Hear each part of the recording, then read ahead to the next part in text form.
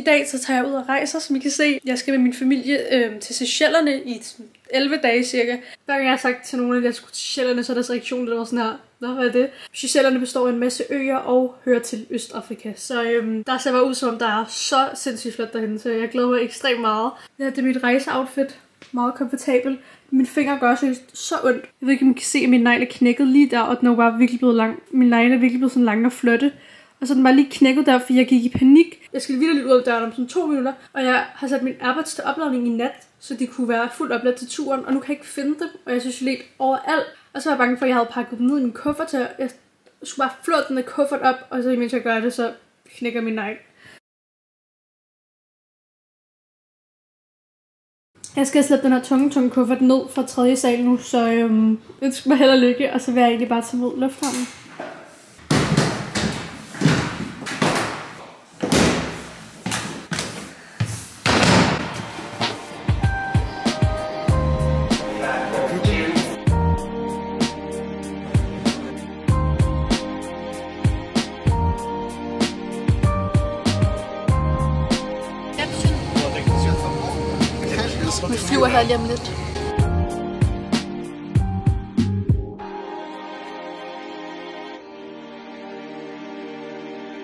Okay, vi er nu kommet af det første fly, og vi sidder i Doha Lufthavn, og her skal vi sidde i et par timer endnu, indtil at vi skal på det næste fly. Jeg fik lige sovet en lille halv time, 20 minutter på det andet fly, og det var dejligt, men jeg er virkelig, virkelig træt.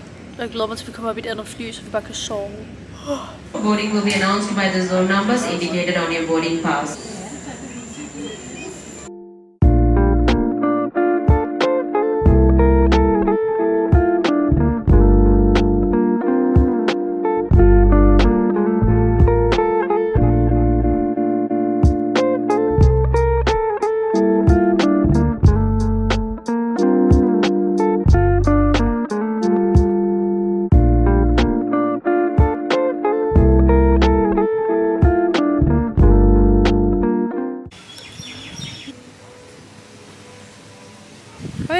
Slidt lige nu efter sådan en lang 18 timers tur. Men vi er fremme ved vores hotel på den første ø, som vi skal være på, som er Pralin.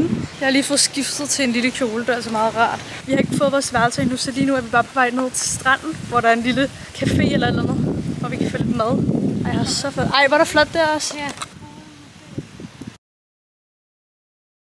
Det er blevet aften nu. Øh, mig og Emily har fået tøj på, og... Ej, jeg glemte at vise værelset. Skal jeg lige vise den, vi begynder det var mega rodet. Ja, okay. Min søskende har rodet værelset virkelig meget Ej, til. fordi det er ikke kun os. Her, der kommer man ind, øhm, og så skal Philip sove der, og mig og Emily skal sove i den store dejlige seng. Det er også sundt for ham. Og så øhm, har vi et lille sådan, vanity derhenne. Jeg føler lidt sådan lidt en hyttevibe, det er meget hyggeligt. Og så herude, der har vi badeværelset. Herinde er der brusebad, og så herinde er der toilet. Og så, øhm, så har vi så to vaske her, og et lille badekar her. Så det var lige en lille hurtig roomtur. Vi skal have en lidt stille og rolig aften her til aften, så øh, lige om lidt går vi ned til stranden, og øh, Vi ser. vi ser, hvordan der ser ud, og så tager vi op og spiser aftensmad på hotellet bagefter.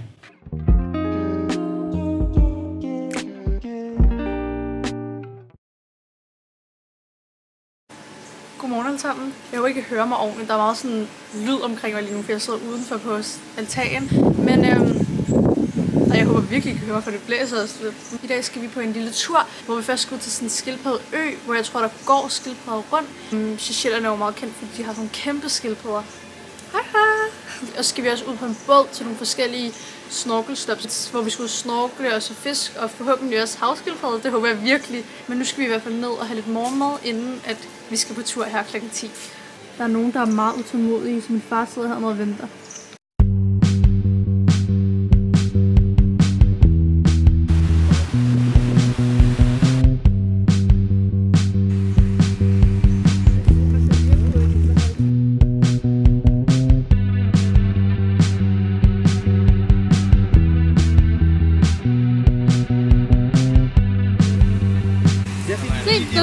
så er det fordi, den er comfortable. Er fan det? Ja.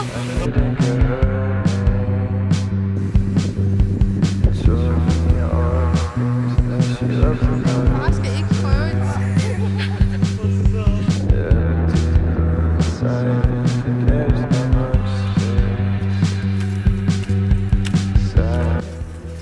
Vi er stoppet på den her skildpaddeø, og nu er vi ude for at gå en lille kort hike. Jeg tror, den var en halv time eller sådan noget. Så skal vi gå sådan her tur, og så bliver vi hentet af båden, når vi kommer ned på den anden side af det her bjerg, eller hvad det er.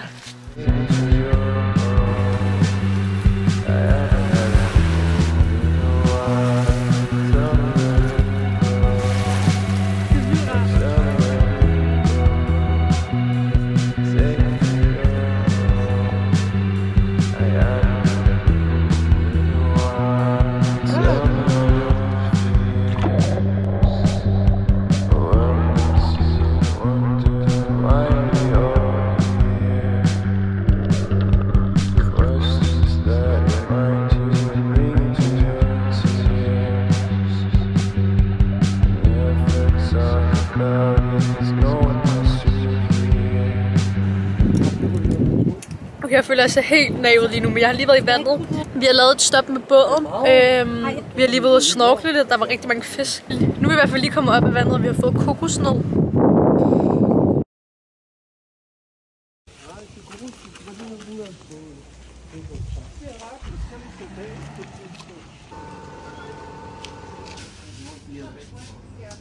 Det er man kan få i øh, det her.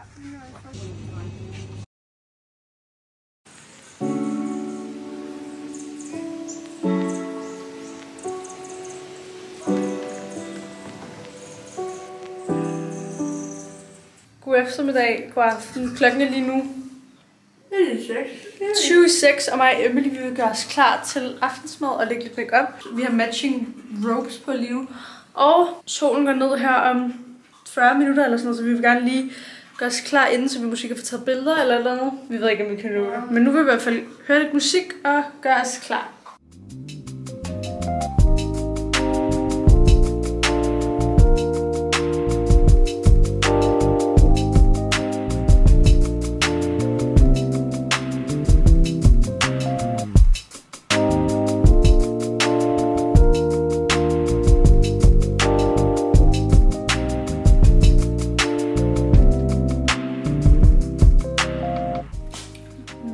Gjort os klar nu.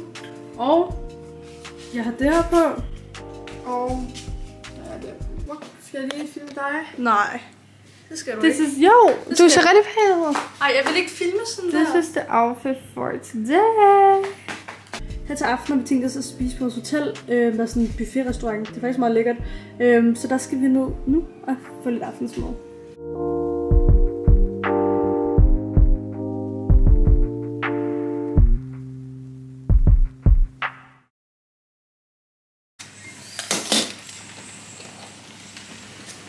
Dag skal vi videre til en anden ø, som hedder Ladik, som er en lidt mindre ø end den ø, vi har været på indtil videre. Øhm, og der skal vi overnatte i to nætter. Så vi skal til at tjekke ud fra hotellet, og så skal vi øhm, hen til en færge, hvor vi skal sejle hen til den anden ø.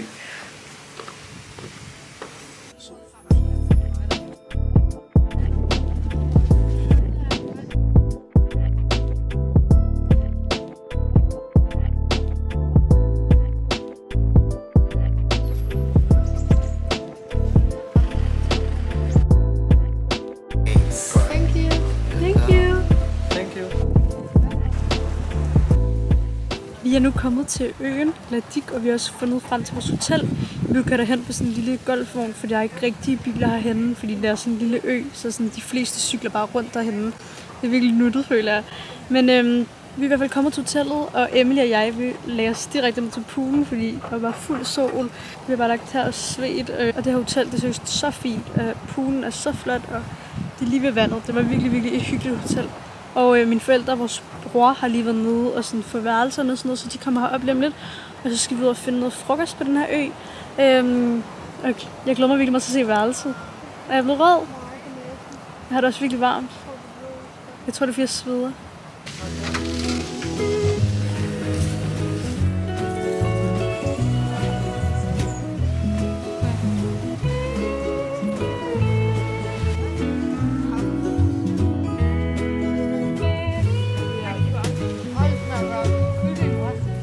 Kommet tilbage fra frokost, og øh, Emily og jeg er netop gået op for at se vores værelse. Og jeg tænkte lige, at jeg ville vise jer det, før at det bliver helt rodet til. Det er allerede ret meget rodet til. Men øhm, lad mig lige give jer et lille tour. Det er faktisk et lidt spøjst sådan værelse, men man kommer ind her, og der sådan en lang gang her. Og så har vi fået en lille opredning her, hvor Philip skal sove, øh, for vi har jo tre børn. Så øh, der skal han sove. Så kommer man ind her, og så er der sådan en kæmpe sådan stueagtig. Og så herop, så skal mig og Emily sove herop. Og her er der så et kæmpe skab, hvor der også herhen hænger lidt morgenkåber og slippers. Det her det seriøst noget, jeg elsker, når der er hoteller. Kæmpe plus. Herude er der et badeværelse. Så her er der udendørs bruser. Og så er det her så badeværelset, den er toilettet. Og så her er det så to håndvaske. Jeg elsker seriøst det her badeværelse, det er så flot. Jeg har fået ordentligt meget farve i dag, som I kan se. Okay, lad os gå videre. Herude er der så en lille terrasse. Så er der to liggestol her og et lille sideareal. Virkelig, virkelig en hyggelig terrasse. Sådan, sådan rigtig jungle vibes. Og vores forældre har så også et andet værelse lidt længere nede ad vejen. Jeg tror, at jeg vil tage mig en hurtig skyller i udendørsbadet, og øhm, så lige slappe lidt af, inden vi skal videre ud og finde et sted at spise aftensmad.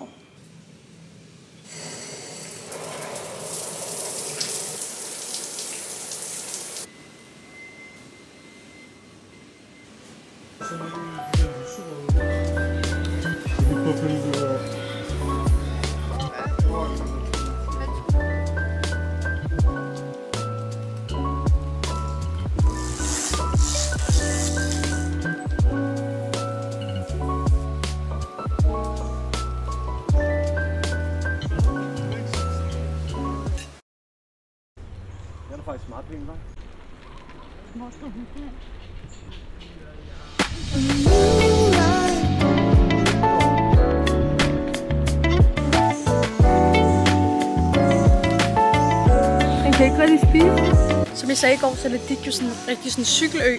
Så i dag har vi lejet cykler, og så er vi i gang med at cykle øen rundt og sådan cykle rundt og se stranden. Lige nu er vi på vej ned til en af de mest populære strande på Ladik, som skulle være sådan en virkelig, virkelig flot strand. Men på vejen, så er vi lige stoppet, fordi der var sådan en kæmpe sådan areal fyldt med kæmpe skildpadder, øh, som vi også så på den sidste ø.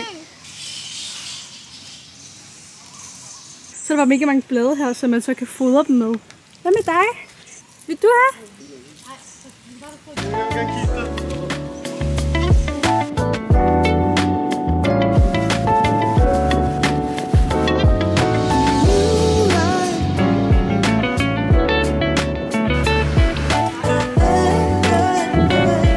Vil, jeg lige, vil du lige vise det til vloggen?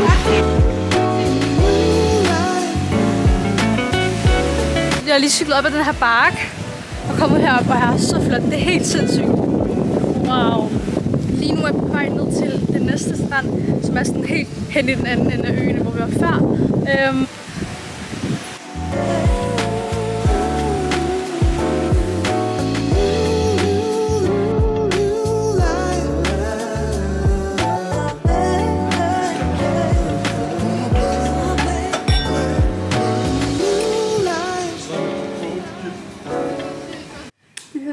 Nej, det er meget lyst. Hvad med sådan her?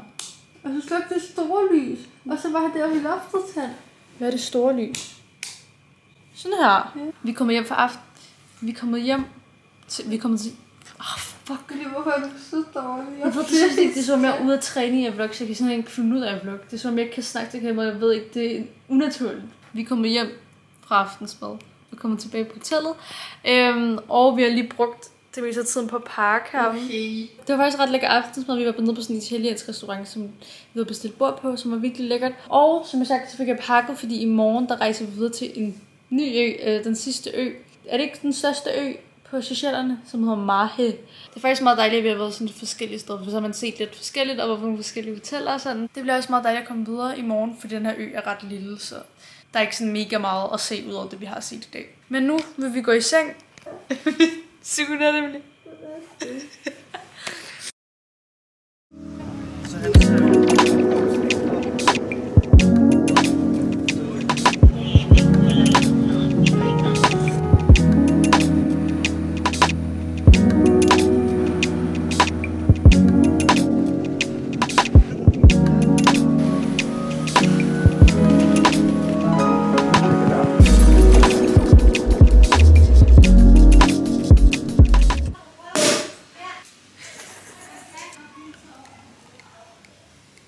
Efter en meget, meget lang tur på sådan næsten 5 timer, er vi nu kommet til vores hotel her på Mahe. Vi har fået vores villa, som det jo er. Den er så flot. Altså, det er det flotteste hotel, jeg tror, vi nogensinde har boet på. Med til vores værelse, der er der sådan cykler, man kan cykle rundt på, fordi det her resort er så stort. Herfra, hvor vores villa er, der er der sådan 2 km til receptionen, når vi kommer ind. Så mig og Emily har tænkt os at hoppe på en cykel og udforske lidt hotellet, og sådan se, om vi kan finde ned til stranden og se, hvordan det ser ud. Ja.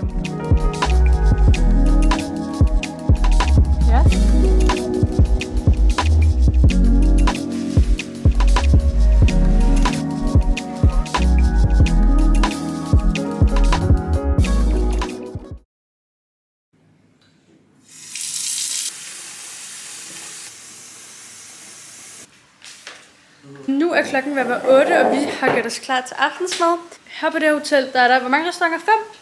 Fire? Ja. Fem restauranter. Her til aften skal vi ned på den, som er sådan lidt Mediterranean-agtig, øh, og spise aftensmad, så øh, der skal vi hen nu.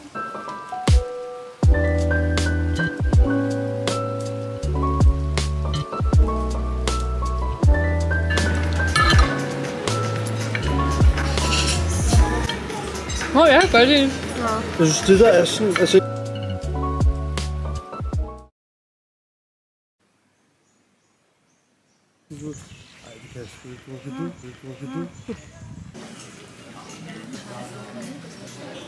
Godmorgen. Der sidder jeg. Okay, shit. De er færdige hver. Ej, det kunne jeg godt lide, det her. Det er godt. Mm, mega lækkert.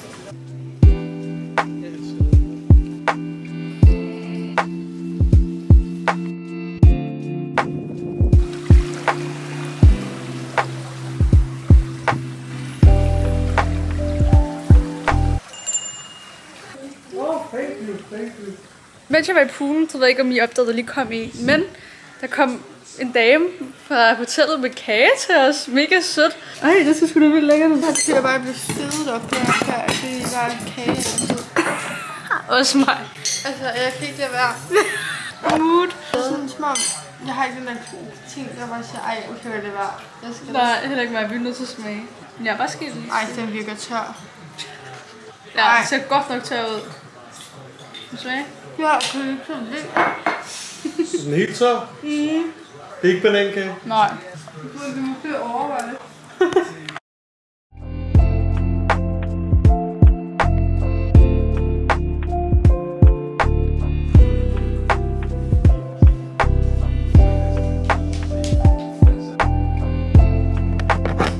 Godmorgen. I dag er det den 1. august. I dag er det vores aller sidste dag her, eller vi tager faktisk hjem i dag, så i sådan eftermiddag, halv fem eller sådan noget, halv fire, tror jeg.